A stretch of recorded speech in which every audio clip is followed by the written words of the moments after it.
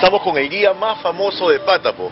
Nos encontramos después de 11 años, ¿no es cierto, Francisco? Oye, hermano, Manolo, bienvenido a Pátapo y después de 11 años... ¿Qué vamos a hacer ahora?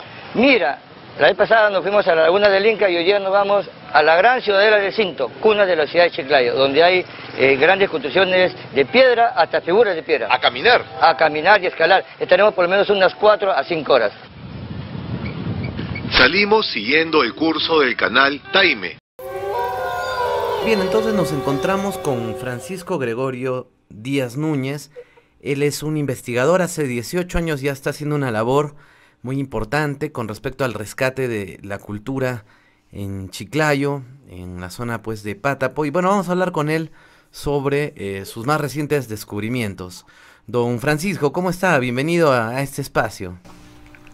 Hola, ¿cómo estás, amigo Rafael? Te saludo desde Pátapo, Chiclayo, Perú. Un abrazo y, y gracias por la invitación.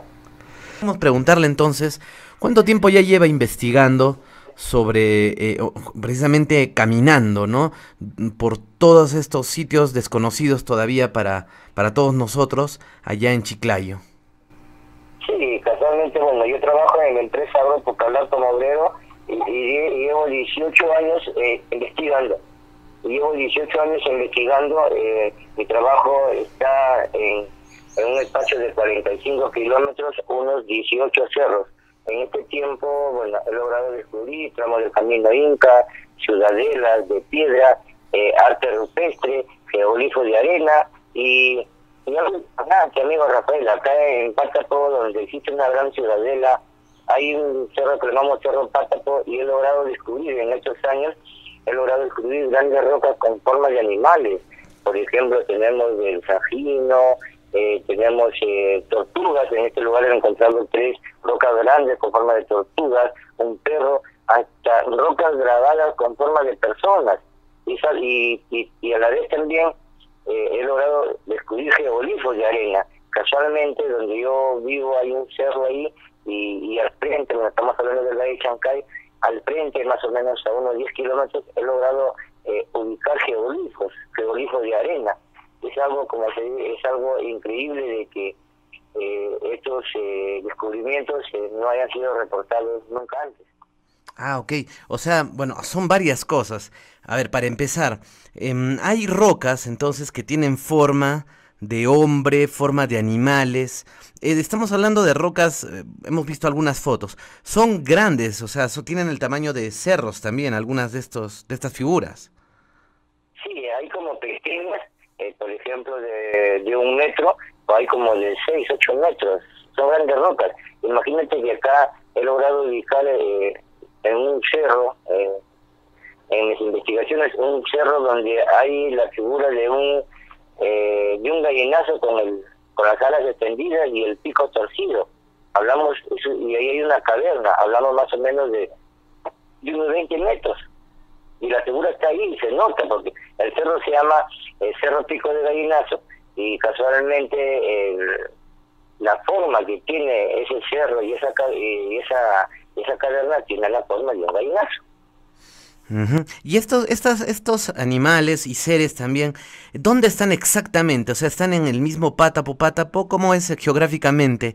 ¿Hay desiertos? ¿Cómo se ha formado este lugar de, de Chiclayo? Aquí a caminar y cuesta arriba, en medio de figuras caprichosas, hasta donde se halla una de las ciudadelas prehispánicas más importantes de la región. Y casualmente cuando hablamos de, del Pátapo estamos hablando, como te decía, estamos hablando del famoso Valle Chancay. Eh, nosotros estamos, el Pátapo, estamos al frente de, de Huacarrajada, donde se descubrió el señor Isipán. Y casualmente, eh, la mayoría de, de ¿cómo se llama?, de, de los descubrimientos se encuentran eh, en Pátapo.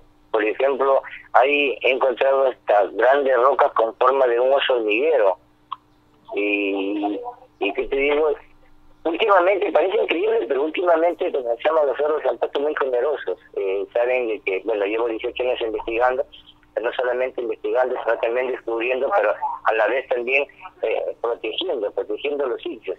Y los cerros para mí, bueno, hay una relación en el cual los cerros me regalan esos eh, eh, sus lo que hablamos de cientos de años. Y casualmente, bueno, casi la mayoría de, los cerros, pero el principal es Pátaco, pero hay otros cerros donde logrado ubicar, imagínate eh, que ellos, eh, los antiguos, eh, he logrado ubicar más o menos de que hablamos del periodo formativo, hablamos del periodo Chavín, hay figuras del periodo, como se llama Chavín, he logrado ubicar también, por ejemplo, geolifos, que tienen que más o menos las características son de la cultura lambayeti y también de la cultura eh, moche. Claro, o sea, geoglifos eh, también, no, no sé si similares, pero una expresión artística o, de otro tipo que no sabemos, pero muy similar a lo que hay en Nazca. O sea, no solamente en Nazca las culturas habrían hecho geoglifos eh, o geolitoglifos, sino que también en esta parte del Perú, en el norte, se podría decir también se conocía.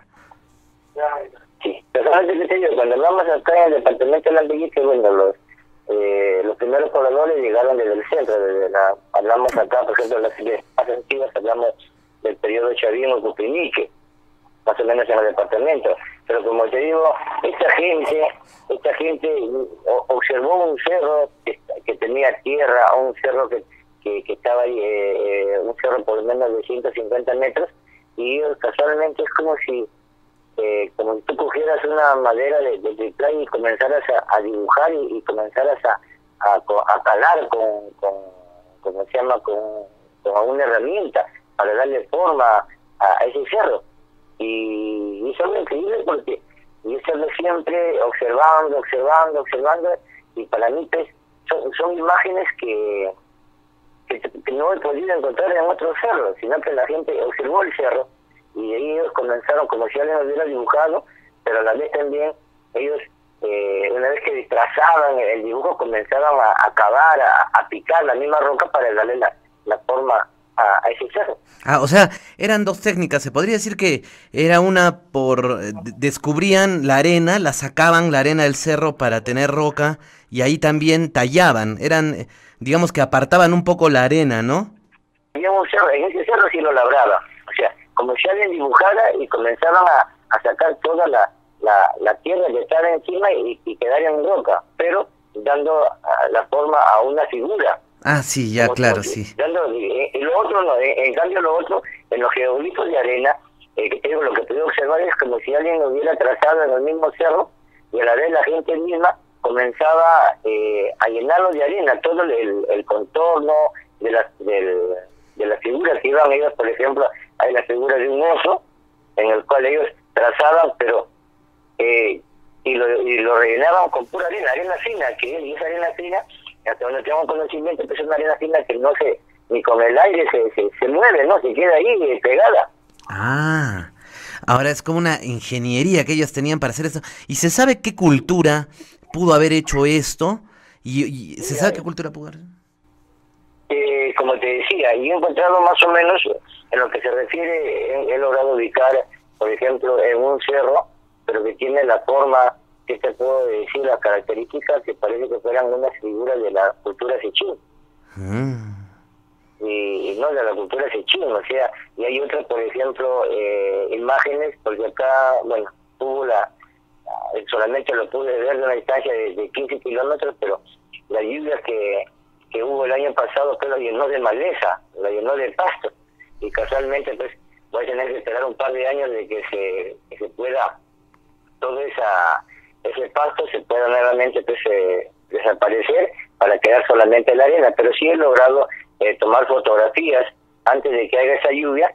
Eh, te lo voy a enviar, esas imágenes, pues, donde hay características, como te decía, en el cerro, características una de la cultura eh, más o menos china He visto esas figuras, sino que no lo puedo localizar. Y lo otro, por ejemplo, lo voy a ubicar eh, figuras que tienen la forma de, bueno, las características son de la cultura eh, moche. Hablamos de Zipán porque está en los cerros de Zipán, acá en Huaca Rajada, hay, hay una fila de cerros que están detrás de la Huaca, y ahí, ¿no? Hay, hay cinco figuras de arena, como si los antiguos adornaban los cerros igual que, que, en Nazca, ¿no? Porque en Nazca, pues, ellos, eh, los antiguos, eh, eh, como se llama, creaban imágenes que se veían solamente pues, de una determinada, de una determinada distancia. Ok, y ahora también hemos visto unas fotografías que nos envió David, nuestro amigo David, eh, que lo había entrevistado. Nos hizo llegar unas fotografías interesantes y usted también por Facebook, donde se le ve que está como que, como que la roca fuera un hombre que estuviera rezando, ¿no? Con los, los brazos o como que estuviera agarrando algo y mirando al cielo. Y también hay otras fotos de unas rocas también de los cerros que tuvieran, parece que tuvieran rostros y estuvieran mirando hacia el cielo. Eso tampoco ha sido una formación natural, caprichosa, sino también encajaría dentro de lo que han sido estos trabajos de las culturas para darle forma a estos cerros. Sí, como te decía, pero acá en este cerro, cuando hablamos de la asistencia, a David le enseñé algunas fotografías de una ciudadela, ¿qué significa? Que en esa ciudadela, pues, donde están las construcciones, donde están los recintos, eh, como se llama, eh, ahí en ese cerro he encontrado muchas imágenes. Imagínate esa figura. A veces algunos he tenido discrepancias, pero si tú te, pero si tú te das cuenta, eh, se ve claro, ¿no? Yo, yo estoy ahí con, con mis dos, eh, con los brazos extendidos, y lo que le decía a David, le digo, mira David lo que, la figura, mírame a mí, en qué posición estoy, y mira la roca cómo está, ¿no? ¿Y, qué podría haber significado todo esto? ¿no? Porque ya, digamos que se han encontrado estas evidencias, pero ¿cuál es el verdadero significado de por qué hacían esto? ¿Era algo netamente artístico? ¿Era algo religioso? ¿O hay algún tesoro enterrado ahí? ¿Nos indica que debemos ir hacia algún lugar? ¿Qué, qué puede interpretar de esto? Mira, ¿qué te puedo decir? En el cerro, bueno, eh, casi la población, estamos hablando de la señoría de Cinto, que que por el año de 1560 eh, dio origen a la ciudad de Chiclayo. Nosotros somos, eh, hablamos de los orígenes de Chiclayo. Y casualmente, eh, esta gente construyó muy cerca donde era su pueblo, en el mismo cerro, construyó una ciudadela o fortaleza, según la fotografía que le enviaba David. Por lo tanto, fue un lugar para poderse proteger de, de, de, como se llama, de, los, de las invasiones. Pero a la vez también ellos eh, trataron de, de, como se llama, de, de las mismas rocas, de la nada las rocas, ya que ellos, imagínate encontrarte piedras que tienen con forma de tortuga. Hay una muralla de defensa y en la parte baja he logrado ubicar una, una roca grande que tiene forma de tortuga, que es una tortuga del mar. Después sigue una muralla de defensa y aparece eh, una tortuga de tierra, con las características de tierra. Y el otro, cuando miramos esa imagen, ese, ese, porque es un cholo el que está con, con los brazos extendidos, ese cholo, ¿en qué posición? Está siempre mirando hacia el cielo.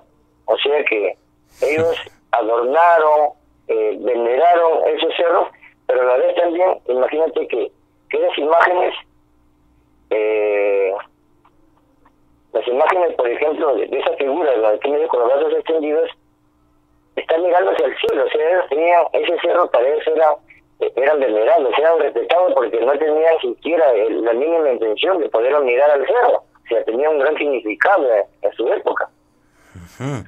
Ahora, también hace poco, o sea, para un poco, eh, a ver, para la gente que nos está escuchando, decirle que usted eh, tiene un trabajo ya muy serio, ¿no? Eh, haciendo estos descubrimientos, caminando, ¿no? Sobre todo, como usted nos ha contado, que ha descubierto partes del Capagñán, incluso ha concitado la, atención, ha despertado el interés de Televisión Nacional del Perú de este programa de reportajes, y hace poco nomás han, han emitido un reportaje donde usted hace de guía en esta zona también, ¿no? Sí, casualmente como en el departamento de Lambayeque eh, yo he dado vida, yo he logrado descubrir un gran eh, un gran señorío, un gran señorío que llamamos el cinto, o sea, toda su historia toda su historia, o sea, descubrir todo lo que, porque cuando hablamos de señoría hablamos igual que un señor de Chicao, un señor de Chicago, un señor de Lima, donde estamos hablando como se llama que, que, que existió en este lugar, un señor que, que gobernaba este sitio, que gobernó y en el cual presidió lo que trataba de ubicar es más o menos su extensión, o sea, muy bien, donde yo vivo, aquí estuvo el pueblo, pero también su área de influencia Imagínate pues que nosotros tenemos, yo lo, eh, nosotros tenemos eh, más o menos, ¿qué te puedo decir? Tenemos eh, historia en 1500 o 2000 años de Cristo, hablamos de la cultura Xavier Copenique, tenemos evidencias, eh, 100 años eh, antes de Cristo, hasta los 700, tenemos evidencias de la cultura moche, eh, también de la cultura lambayeque y de la cultura chimú. O sea, hay evidencias. También he logrado redescubrir los tramos de, nuestro famoso camino inca, nuestro famoso camino inca que, está olvidado por nuestras autoridades, porque no hay, eh, hasta ahora no, no he tenido la oportunidad de que pueda haber algún interés, ¿no? Siguen destruyendo el patrimonio, porque mi, trabajo no solamente ha sido descubrir, sino difundir y protegerlo. Pero como te decía, yo trabajo en una empresa azucarera acá en el norte y no tengo ese apoyo. O sea, yo no cuento con el apoyo de, de ninguna institución pública o privada, ¿no? Si algún día hay alguien que está escuchando, eh, quisiera, eh, ¿qué te puedo decir? Quisiera, eh, para poderlo mostrar, o quisiera ayudar, para poder que este estos descubrimientos sean difundidos eh, en todo el periodo del mundo, les estaría muy agradecido, ¿no? Ah, por estos sitios es una piedra grande, plana, de más o menos 6 metros 30 por 5,70. Mientras yo caminaba buscando algunos cóndores que se escondían en el cerro, eh, me doy, me, acerco a una roca grande a querer tomar desayuno y cuando lo veo pues una, una roca llenecito de dibujos. Agradecía a Dios por conocer un nuevo, por descubrir un nuevo atractivo, un petrolífero grande que más o menos pues, data de hace 2500 años antes de Cristo, es Chavinoy. Otro motivo para venir a Pátapo. Otro motivo para venir a Pátapo, ¿sabes por qué? Porque esa, esa piedra... Eh, fue usada por los, antiguos sacerdotes. Estamos hablando de la época del periodo formativo, estamos hablando del, periodo chavín o cupinique, como se dice en la costa, ¿no? La época más antigua, sí, pero, culturas de por acá. Eso es lo bonito, pero a veces lo malo que a veces eh, no tengo el apoyo para poderlo pues, conservar. sí, ojalá eh, haga eco esto y, alguien pueda interesarse y difundir ese trabajo que es muy es novedoso, porque cuando hablamos de, de estos eh, geocódigos, geoformas, no sé cómo decirlo, eh, nos acordamos mucho, casi todos, de Marcahuasi, ¿no? Porque en Marcahuasi también, ¿no? La polémica está ahí, ¿no? Muchos dicen, no, ahí sí hay figuras, otros dicen que no. Pero si estamos hablando de que también ah, allá por, por Chiclayo, en Pátapo, también las culturas tendían o, lograban hacer estas cosas, es que ya eh, las culturas antiguas dominaban de alguna manera el transformar la, la naturaleza, el, el, dar forma también a los cerros. Entonces no era casualidad y no es casualidad que usted haya encontrado esto. A veces yo mirando que tenés tantos que eh, podría yo considerarlo como si fuéramos pues eh, el, el Macahuasi del norte, ¿no? Para mí sería el Macahuasi del norte, porque bueno, Macahuasi son famosos por sus, eh, por sus grandes rocas, pero yo te digo, pues hermanos, y acá también nosotros eh, contamos también, o sea, contamos con esas eh, evidencias, o sea, existe, que en este lugar sí hubo gente que, eh, que se permaneció por, por muchos eh, años, gente que, que iba más o menos de tiempo en tiempo eh, de cultura en cultura que hubo un grupo de gente especializada en, realizar eh, esos trabajos de, bueno, pero uno es artista, ¿no? Claro que sí. Mm, qué interesante lo que nos lo que nos cuenta. Entonces, porque muchos dirán, ¿no? De repente, no, esas son pareidoles, o sea, le parece, ¿no? Pues, claro, sí se parece a un hombre, pero no es. Pero ya con lo que usted está investigando, ya prácticamente usted nos está diciendo que sí, o sea, las culturas sí hacían este tipo de, transformaciones a la naturaleza, ¿no? Las adaptaban artísticamente, como usted nos dice, porque ya es como, usted nos comenta, ya es muy evidente las formas, ¿no? O sea, ya hay mano del hombre ahí, usted ha podido determinar in situ que así ha sido. Sí, casualmente, como te digo, las evidencias son clarísimas. O sea, no estamos hablando, pues, de rocas, rocas grabadas o labradas que tienen formas que no se encuentren, imagina tortugas, un sajino, eh, un rostro, eh, ¿qué te puede decir? El, un oso hormiguero, la cabeza de un cóndor, eh, una prueba grande que tiene la forma de, un gallinazo, ¿cómo lo hicieron? Así es la, o sea, si hubo gente, ¿cómo lo hicieron? Eso hasta, hasta ahora no eh, gente que hablamos de roca dura, acá no estamos hablando de una roca suave, no, hablamos de roca dura. Ah, eso justamente le queríamos preguntar, o sea, eh, ahora, ¿es fácil hacerlo, o sea, yo podría ir mañana y, e intentar con un grupo de amigos transformar, no sé si podré todo un cerro o, partes, pero se puede hacer con qué tipo de herramientas, en todo caso, se tendría que contar para lograr hacer esto. Mire, hermano, primero para poderlo hacer, imagínate, subirte a una altura de 7 metros o, 10 metros, colocar un andamio, y hablamos de una roca pues, de, de, 6 metros, darle la forma de un rostro, de un rostro, una cara, o sea, porque en algunos sitios, eh, bueno, eh, es algo increíble, sin tener la, la, la, tecnología, sin tener todo eso, ¿no? O sea, ¿cómo lo hicieron? Hay algunos, por ejemplo, como yo he encontrado hasta al momento de hacer la figura es como si alguien lo hubiera comenzado con un cincel a labrar la, la, la roca para darle la forma de, un rostro. Pero, mm. pero para mí, pues, o sea, ¿cómo lo hicieron? Porque la roca está ahí, ¿cómo lo hicieron? Es algo que, que me sorprende, ¿no? O sea, miro, observo y, y de verdad que me quedo sorprendido, pero la figura está ahí. Y, y abajo me, en la misma, en la parte baja, encuentran los pedazos, las astillas de la piedra. Ah. Hay las astillas, o sea, de lo que ellos han dado la forma, hay las astillas. Eso es muy importante, o sea, sí, ahí están las astillas, sí, eso sí prueba de que lo trabajaron, entonces, mire, ¿ah? el material, no el desecho. El desecho, o sea, sí lo, sí como se llama, ellos, ahí se, ahí, ahí se ve, se ven los, los, los restos, ¿no?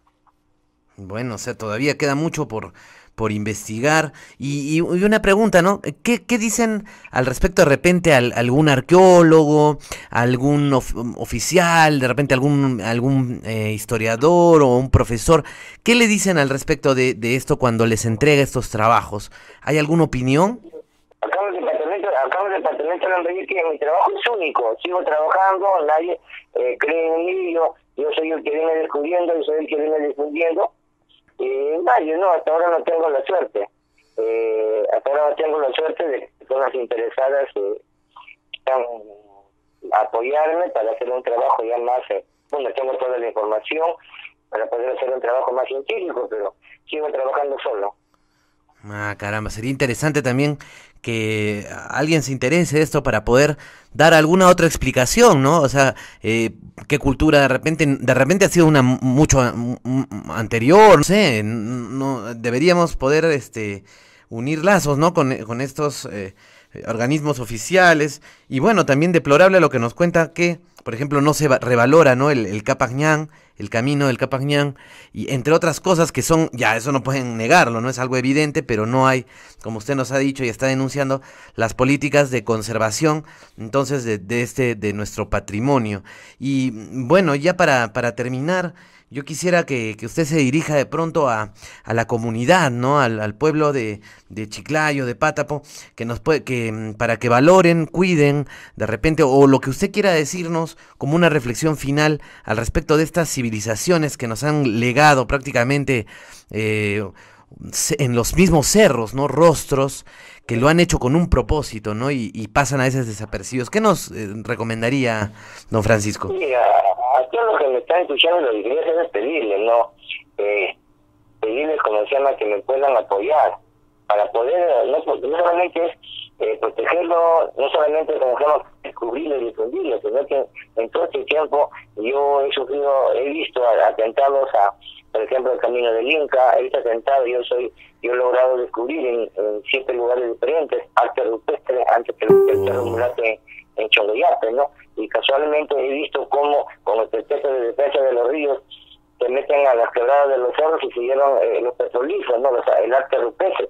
Como tú has visto, por ejemplo, en reportajes del Perú, donde yo estoy mostrando un altar, un altar como se llama una roca de 6 metros 30 por 5,70, eh, donde está lleno de dibujos, lo descubrí el año 2007. ¿Tú crees que hasta ahora a pesar de haberlo publicado, tengo el apoyo para poderlo proteger. A mí no me paga el Estado, amigo Rafael, yo pago para hacer todo eso.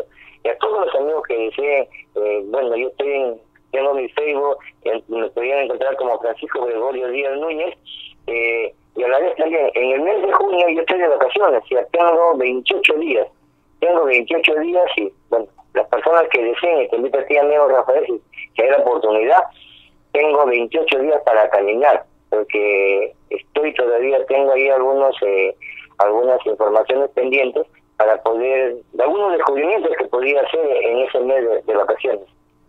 Perfecto, entonces ahí, ahí estamos. Todas las personas que quieran participar, ayudar, ya saben cómo hacerlo. Bueno, vamos a, dejar la entrevista aquí. Eh, le agradecemos, eh, don Francisco, por las fotografías, las imágenes que algunas nos ha mandado David, algunas también usted nos va, bueno, ya nos va a remitir, pero en la entrevista las vamos a poner. Está el video de reportaje al Perú ahí que está, lo pueden ver, en, está en YouTube para que conozcan la seriedad del trabajo y esta nueva teoría, este nuevo enfoque de que los antiguos peruanos dominaban, conocían cómo alterar los cerros y darle forma, porque sabemos que los apus son sagrados, eran sagrados, eran sagrados y algunos tienen rostro, ¿no? En Machu Picchu, podemos ver, pero no serían solo caprichos de la naturaleza, ¿no? Con esta nueva tesis, este nuevo enfoque, podrían haber sido creados, ¿no? ¿Y, quién tiene la tecnología? Yo digo, ni actualmente, ¿no? Para modificar todo un cerro, ¿no? Entonces, y, es más, o sea, en, en, otras partes del Perú hemos visto cómo han cortado toda la parte superior de un cerro y se la han llevado. ¿Dónde está? Ni, siquiera hay el material, ¿no? Son cerros aplanados.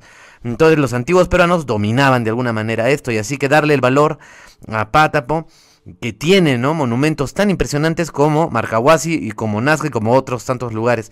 Entonces le agradezco, don Francisco, por este, darnos esta entrevista aquí en exclusiva y bueno, le deseamos mucha suerte en sus próximas investigaciones también.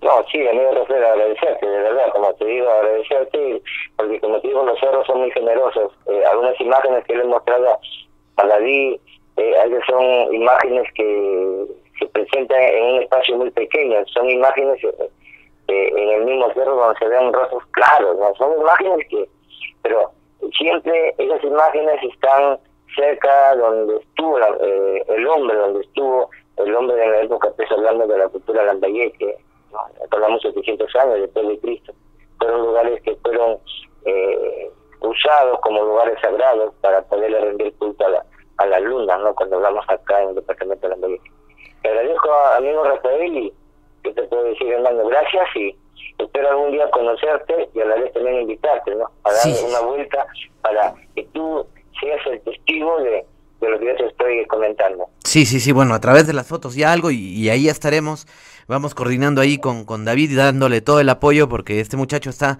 eh, investigando mucho y, y, está dando a conocer también su tierra, que eso es lo que necesitamos, gente comprometida del mismo lugar que haga nexos, ¿no? Con todo el mundo, ¿no? Y con internet ahora se puede. Bueno, muchas gracias, le mando un fuerte abrazo entonces, don Francisco.